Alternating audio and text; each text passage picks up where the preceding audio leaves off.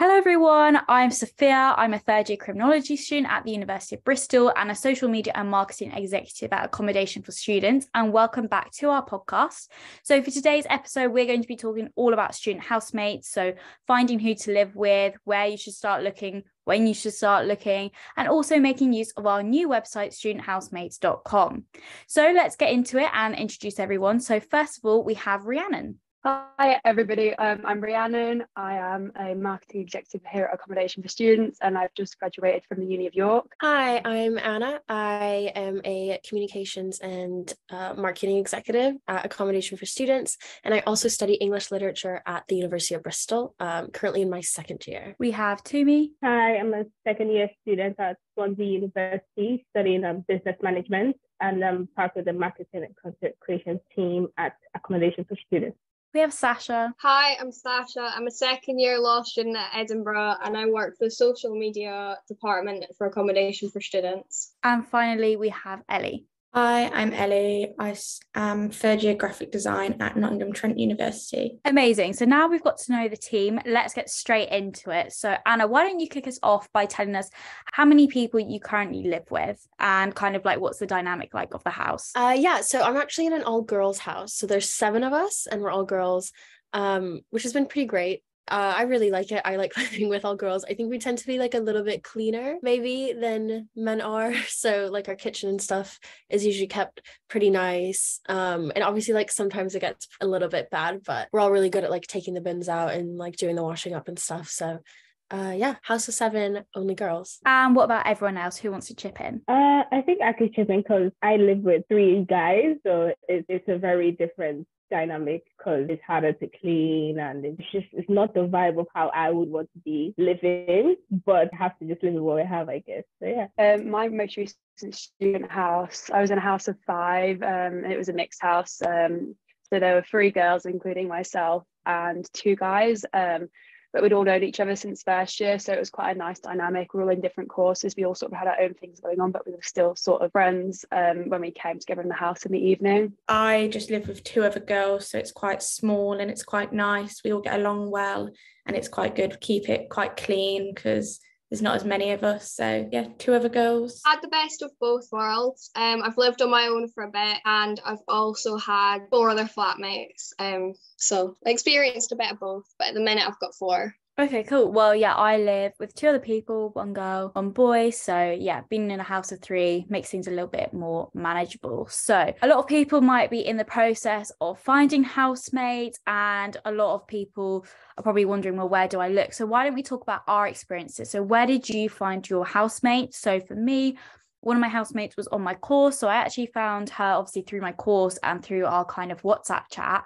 And then we were living with one of her friends and he dropped out of uni. So recently I had to go through that process of kind of finding a new housemate again. And we found him on Facebook. But what was everyone else's experiences with finding their housemates? Mine was a bit, I feel like a bit scary because I came from America and like I didn't really know what the culture was for houses. Like I didn't really know that you were meant to look for a house for second year, like really early on, at least for me. Everyone around me, it was like October, and everyone was like, "This is who I'm living with," and I was like, "Why are you deciding so early? Like we don't even know each other." Um, so I kind of was really stressed about it, and I hadn't really even like at that point figured out who I was really like close to and who I was friends with. So I didn't really want to have to make the decision of like who I was going to live with for the rest, you know, for like the following year. And it ended up that like really strangely, it was like a friend of a friend. Um, we were like sat next to each other at a pub and she was like, Oh, I don't have anyone to live with. And this was the first night I met her and I was like, Oh my God, I've got no one to live with either. And then we just lived together and like we had other friends that we like brought in and now we all get along really well. But it was kind of strange because like I kind of chose to live with someone that I'd only met once versus versus like everyone else around me but it worked out like for the better. I don't know if i'd recommend it just because like i think i kind of just got lucky but it was really stressful i think just like finding people to live with. I think it really sucks. I think for me it was it wasn't that hard to find some people to live with in second year because i had moved with a, a few of the people i had stayed with in first year. So we just moved into like a four bed, a smaller situation, which I ended up with three guys and just me.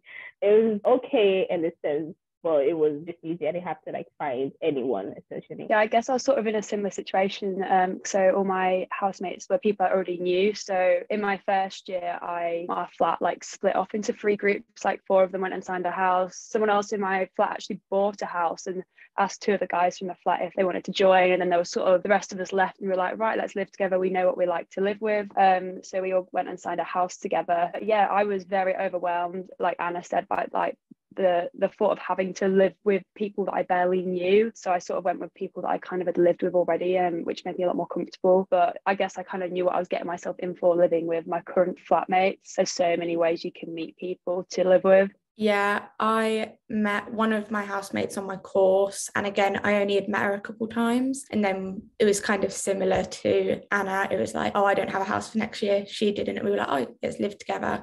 And then my other housemate was in my climbing sports club with me. And that's why I think like joining committees, joining clubs, societies is such a good way to make friends and meet people to move in with. So we all we're all in the same course. I met two of them during freshers week and then we all kind of introduced ourselves to each other um, and we got to hang out a lot and get to know each other before we had to start looking for accommodation and i think looking back i'm really lucky i'm really glad that we had a, a long time to get to know each other so obviously we've talked about who we live with but now we should start talking about when do you think people should start looking for their flatmates so Rhiannon what was your, your experience with that in my personal experience in York, it's sort of one of the toughest cities. There's two uh, unis, and like it's quite a small town, so there's a lot of people looking for accommodation. So I do think it's a little bit better to search a bit earlier in York. So I I left it quite late. I looked in sort of I kind of secured who I was living with in the January, um, and by then there were just not a lot of houses left. Deciding who you're living with is a thing you have to do before you start looking for houses. So I think the earlier the better. Like um, again, obviously, you have to make sure that you're going to be able to live with these people. It's a year of your life. But I'd say, sort of, if I could have my time again, I'd have sort of cured who I was living with by the end of November, really. Obviously, I survived with leaving it till January. So, again, it depends, and it depends the city you're in. Some cities are much more competitive than others. Yeah, coming from Bristol, I think that it gets very competitive here. So, the earlier you can secure who you live with, definitely the better. And I know it puts a lot of pressure on you as a student to kind of decide, like, yeah, who am I going to live with for a whole year? Then, when you think about it, you can also think like oh it's just a year so if it if it kind of doesn't work out like it's only one year and and you're kind of home for like most of it. Not most of it but you've got like three summer or like three months for summer where you're home. Um we've got like three weeks off for easter. It won't be too bad. I feel like i'm making this sound really negative but because like you can find people that you really like to live with as well. But i would definitely say like try to figure out as early as you can just because it'll make your life so much easier when you have to like find a house. Yeah i think i agree with Rhiannon and Anna because better to find people before you start looking for houses so you can kind of like know who they are and you know what their ideas are and like what they are looking for in a house as well. So you have the same idea of what you want and how you want to live and especially who they are. So it's better to find houses, find people, sorry, before you start finding a house. I think it sounds a bit like cringe, but you can't rush friendship. I think it is quite hard because I wanted to live with people that I liked, like really was good friends with. I didn't make my two good friends until later on in second year. And one of them had already booked a house and one of them wasn't sure if she was doing masters or not. So I couldn't like live with either of them. Then I had to like find other people but it was quite hard because it was like didn't know them but at the same time it's like you get to know them and it's only a year. And also I quite like my own space anyway. So if I'm home I will just stay in my room a lot. So you're not always talking with your other flatmates. So it doesn't particularly matter if you're best friends. It depends what type of person you are. Yeah I kind of felt the same as Ellie in the sense that I really was like really nervous about moving in with the wrong people. Um I'd say that if you do want to leave it a bit longer in edinburgh it was okay to leave it until like january february. We managed all right. Obviously in other cities it's like the housing market's a lot quicker. If you do know roughly who you want to live with then it's probably best to do it as early as possible because you'll get the most choice. I think like anna said in bristol and same with in york like the housing market is super competitive. So when i was looking for my second year house we kind of already i lived with people who were in my flat in first year. We kind of already knew that by the end of october Whereas when I was looking for my third year house, I was aware that there are always going to be houses available. And so I left it a little bit later and didn't sign until around December time. And I was in like this big group girl of six and it kind of just fell apart. And so I was just like, you know what, I'm going to go off and find my own housemates. And it was much easier. And to be honest, I probably spend more time at other people's houses or like out socializing anyway than my own house. So I think it really just depends on, like we've all said, what kind of a person you are and what kind of want to get out of your house. So, speaking of like trying to find housemates, what are some sort of things you should consider when you do decide who you want to live with? I think you should really think about like the routine of the people that you're living with, like how well do your lifestyles line up? So, like, I've lived with people who go out, you know, six nights a week, stay in bed till midday. I won't see them because I'll be out at the gym or at uni by the time they'd even got up. Um, but then I also lived with someone who was a massive early riser. He would sort of get up at six, go for a run. He'd be, you know, cooking his breakfast at 8 a.m. And I was like, you know, good for you could never be me.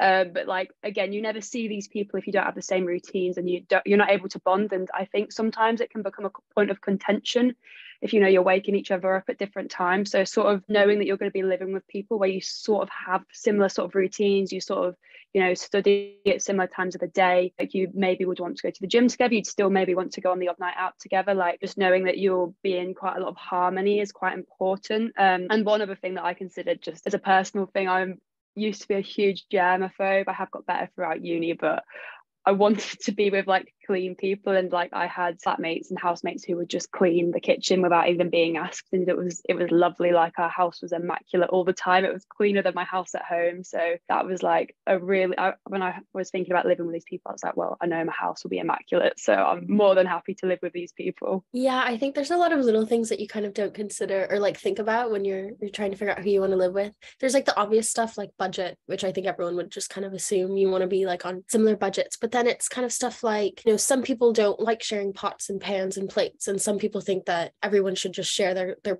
you know their kitchen stuff. That can really become like a point of arguments in the house. If some people think that we should be sharing spices and flour and other people think everyone should buy their own milk like it's just little things like that that you should kind of consider. And then kind of Rhiannon was saying lifestyle I think is definitely a big one.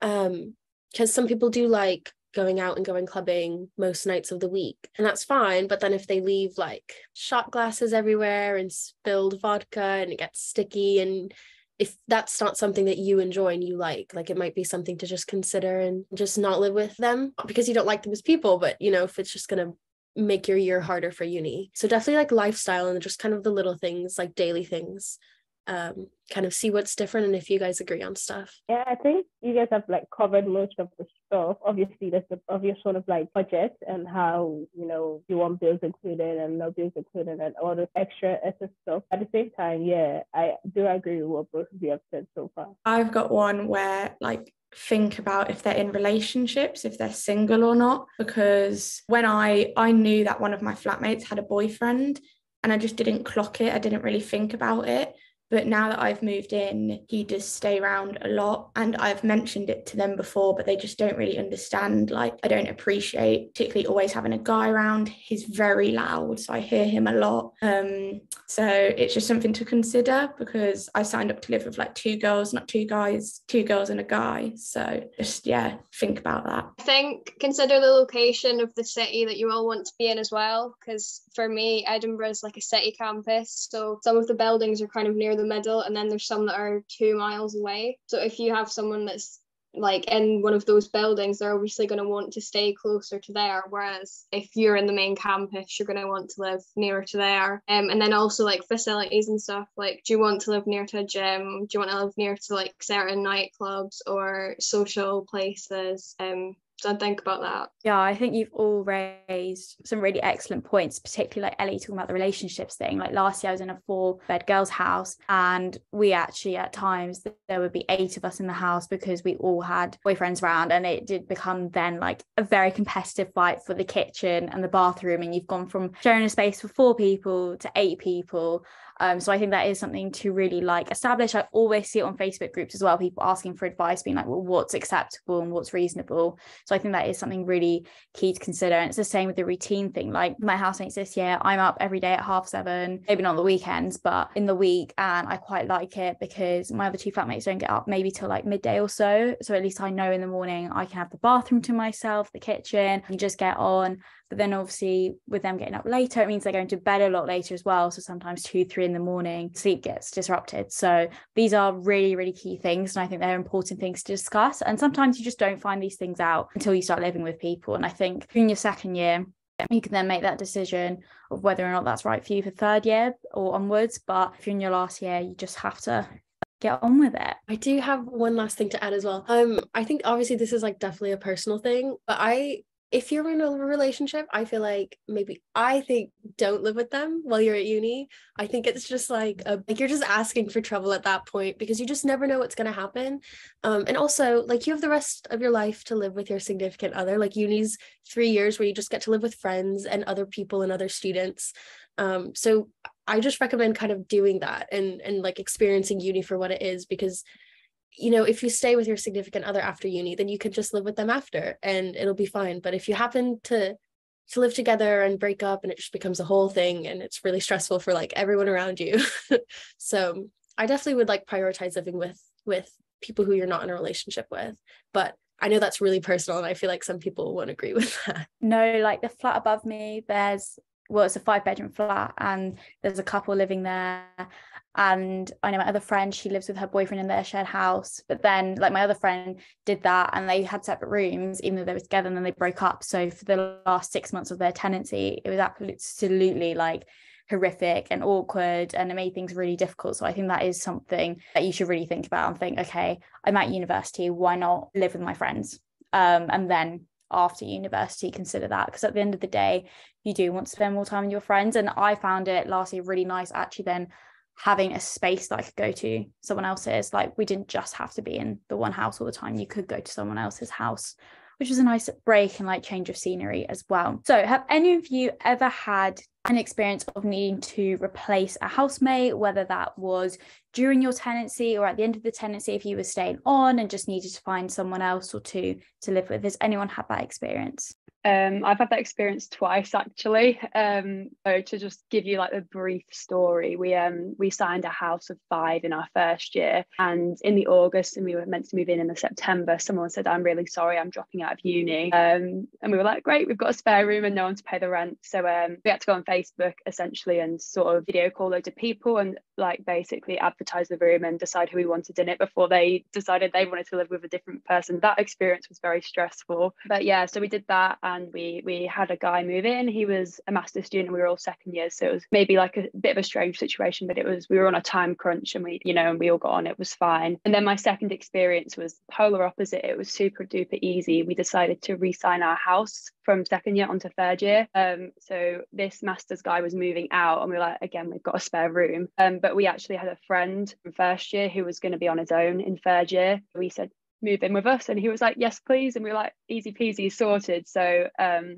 i guess it just depends if you've got that notice period to sort of make the decision um, but yeah it can be completely different for everyone and you can make new friends from it or you know solidify old friendships. So it's definitely you know not something to be worried about. Yeah like i mentioned earlier so when i signed this house there was three of us and then the guy we were living with he decided to drop out of uni and just carried on like working full time and then it got to christmas and he was like i'm losing money rather than saving it because Bristol is just incredibly expensive.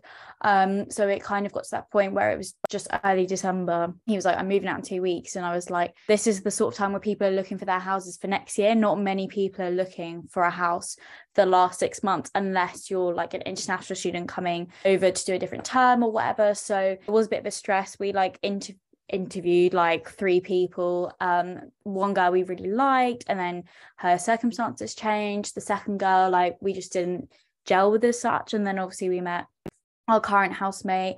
Um but i would say it's really important as well before you even sign a place even if you're like best friends with everyone do check the tenancy agreement because you want to make sure that if someone, for instance, did move out, you're not going to be liable for paying their rent until you find a replacement. Whereas in our situation with contracts and Christmas and everything, it meant our old housemate, he had to pay rent still for the two weeks where there was no one living in this property um, because both me and my house mate who was staying on obviously we said we shouldn't be liable for that and our contract said that as well so do check things like that before you do sign a tenancy agreement um, and also have a discussion about what's going to happen with the bills as well so when thinking about looking for your housemates where do you think some students might look if they don't already know people that they're going to live with facebook is like a really good one. I think that's where most people kind of go. Um, is I know at Bristol, and I'm like 100% sure basically every other uni has it, but there's just Facebook pages that are like, oh, like uni student house mate finder, or just like stuff like that. And people go on there and post all the time um, if they need anyone. I think that's how we got a couple of people in our house as well. So I kind of, it was like a friend of a friend. And so I like moved in with them, and then they wanted kind of like a big house. So we went on Facebook and like made a listing and that's kind of how we found people so i think that that's probably like a pretty big one right now. Yeah i agree with facebook and that's what we used to sort of find this extra guy the first time we had to replace a housemate but um, lots of people have mentioned that they've sort of just put a message in a course group chat before and been like hi you know i'm i'm in a situation where i don't really have anyone to live with at the minute. Is anyone else looking? Would anyone else be willing to like you know go for a coffee and see if we get on and see if you know living together would be something we're up for because I think you just got to sort of ask the question um, to see who else is looking because people aren't going to be walking around saying I'm looking for a housemate.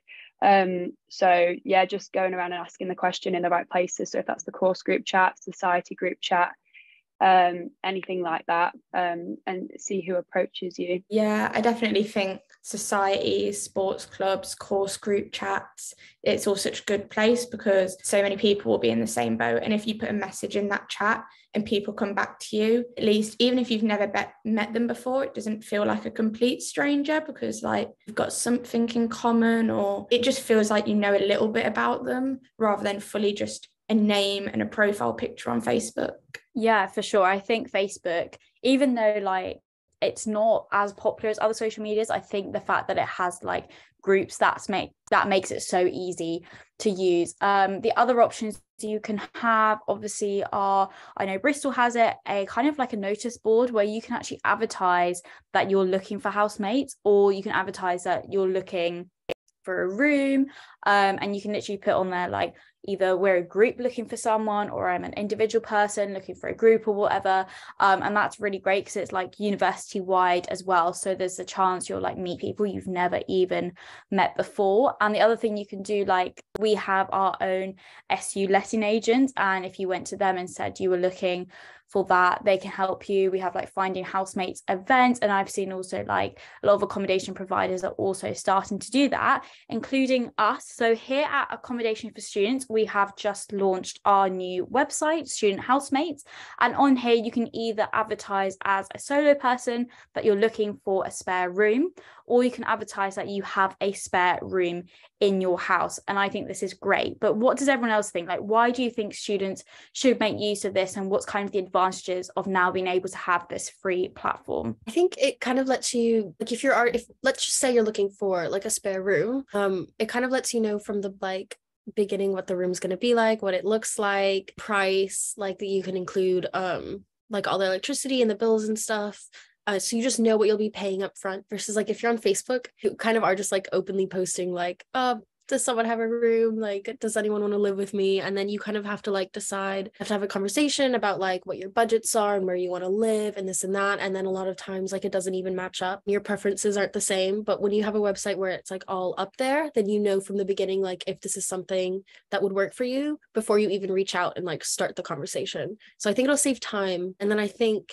well like both sophia and rhiannon like if you have a spare room it just makes it a lot easier as well because you can just put it up there. Yeah i basically agree of everything Anna said. Like when I was advertising a room on Facebook, like I just didn't really know what to include in the advert. So I was sort of like, uh, here, here's a photo and it costs this much and it's on this street and that's it. Like, and people were messaging me constantly, like, oh, can you tell me about X, Y, and Z? And I'm like, I didn't even think to include that in the ad. So like people were saying, oh, can I have a floor plan? Is it double glazed? Like, um, what's you know can i have a photo of this specific and i'm like I don't know. So it was just it was a bit of a nightmare having to get back and forth with all these little details. And obviously the website will prompt like little things that you should be including that you might not think to include. And it really mm-hmm. streamlines that process for you. And like you know you're not constantly having to be checking your phone replying to these people quickly before they're they're snatched by a different group also looking for a housemate. So it just it sort of takes out your hands a little bit takes the stress off and it means that there's that really easy communication in place um, and honestly it would have saved me a lot of stress if it had existed when I was um, looking for a housemate. I can imagine it just focuses it a lot more because on Facebook, just second things will get lost or it's a lot of type. It just will feel like a lot of type and images.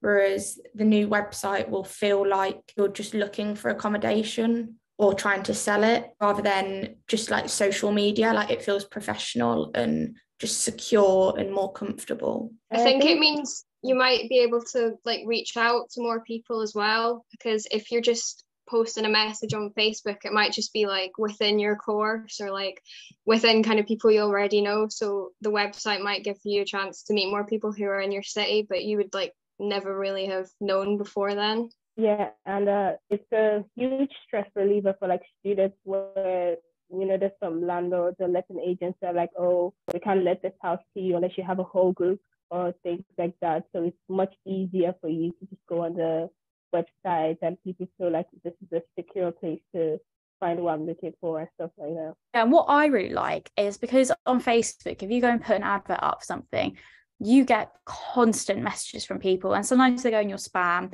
or they're hidden. So first of all you're missing out but sometimes you also get people who actually have no interest whatsoever in your property and they're just like a bot or you know just some random person. And actually i think the website takes away that because everything is tracked it is monitored so it's much safer as well. If something goes wrong accommodation for students are there as a support team to help you. If you have any queries or questions they're again there to support you. It's a whole platform as well. You're not having to manage it. You're literally listing your property and people can then either choose to fill out the inquiry form to get in touch with you or you can provide your own email address or phone number if you're comfortable with doing that. But it just puts it all up front it's monitored it's a much safer way of doing it as well and like we said it's great because you can just include all the photos how much the deposit might be the bills the rent everything rather than being like limited on facebook to try making a post looking attractive and short and snappy this is a full on dedicated website. And I think if you are looking for housemates or you're looking to fill a room, this is the way to go forward. So, does anyone have any final comments they would like to add about finding housemates, any general advice, any more experiences they've had that they would like to share? I was just thinking of going back to the replacing a housemate. When I was looking for accommodation once, there was only four of us, but we were looking for a five, we were looking at five bed houses.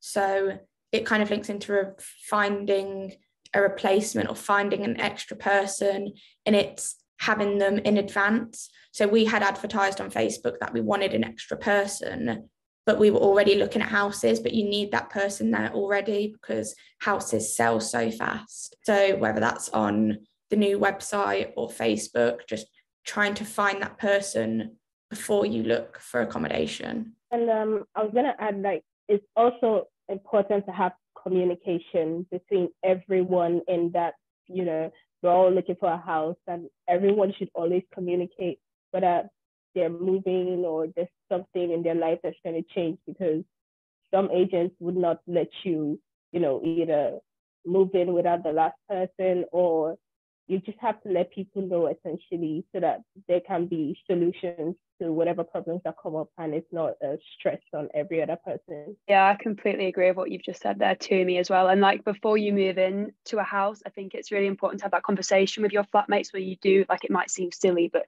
just establish those boundaries, like what Anna was saying. Like, do we share our herbs and spices and our milk? Like little things like that, just so you know. Um, and we have actually got a blog on our website. I think um, it's 65 tips for housemates or something like that. Um, but it's just got loads of advice that we've like had from students about just how to have like a really smooth house experience and it's really worth reading. And kind of on that note, when you have that discussion, like don't be afraid, just step back if it's not the house for you and if it's like not the flatmates for you as well. Um, if you find that they kind of want something different, that's okay. I don't think, you know, either of them, the opinions are wrong. It just means that maybe it's not the right fit for you. So don't be like scared to, you know, voice what you want. And if that doesn't match with other people, to kind of step back and evaluate and see what else you can do because there are options. Like even it is stressful. Looking for a house is stressful, especially as a student. But conclusion is that there are options for you and you will find a house and there will be people that you can live with. So just try not to stress too much about it. But you know prioritize your own um, priorities i suppose. I'd say as well there are a lot of op- options with like different types of housing but the minute i'm still in like halls of residence but there's like a flat and you can just like kind of pick who's in the flat. So you can like live with your friends and then like one or two new people if you need to fill it. Um but it's like a really nice way if you all kind of agree like you'll you'll want your own ensuite or something um it's just like an extra option. Or even if you're just like really struggling to find accommodation then it could be a good alternative. I say linking back to what Anna said um, about just prioritizing yourself I think it is just like look after yourself and just stay as positive as you can about it because realistically it isn't going to be perfect. It's student housing it isn't always great. You might not get along with flatmates but everyone has issues and like i'm sure there are people out there who will have a lot worse situations than you. So if you just try and always stay positive and look on the bright side it can just make your experience a lot better. And in the end the likelihood is you're only there for a year so if you can just count down the days until you've got to leave or move on to a new place, it just helps a lot. Yeah, so I think the student team here today have raised some really good points. And over on accommodation for students, we've got our student blog and we've written loads of posts in the past about finding housemates or what to do if you're having some issues with your current housemate but we've also got a new blog that's just launched which we'll be posting monthly on over on our student housemates website. There's four or five blog posts already up on there. So if you are in that stage of looking for housemates um, at the moment or needing to fill a room and want some extra advice get over there and get reading. But thank you very much to our student team today for joining us and we really hope we've been able to help. And if you do have any other questions or queries, you can get in touch with us through our website or on social media. Thank you. Bye.